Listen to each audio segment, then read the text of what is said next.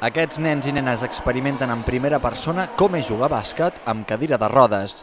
Han d'encarar la cadira a la cistella i apuntar.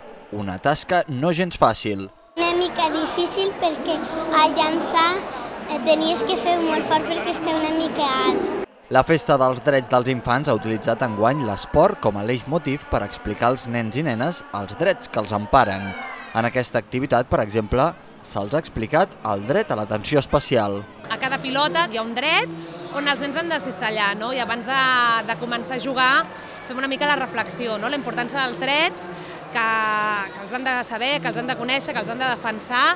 Aquest any hem volgut lligar tot el que és la visió dels drets dels infants amb el tema de l'esport. Representa molts valors, molts valors que ens formen com a persona i sobretot els nens i les nenes de la ciutat. El vestíbul de l'estació del Nord s'ha omplert de famílies.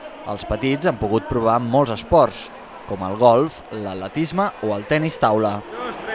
L'esport en concret és el de menys, el que volem és que participin en un grup de gent, en aquest cas altres nens, ell va amb nens que no estan de la seva classe, l'ajuda a fer nous amics, i això és una mica el que busquem. Sobretot des del punt de vista de que, com que encara no saben exactament què és el que els hi pot agradar o no, doncs el fet de que vegin una diversitat d'activitats i d'esports que poden practicar, doncs, doncs potser els hi desperta una mica, a part dels valors d'equip i altres, altres importants, doncs veure per quin tenen una mica més d'interès. La Festa de la Infància és una iniciativa de la xarxa dels drets dels infants, amb el suport de l'Ajuntament i on hi participen una vintena d'entitats.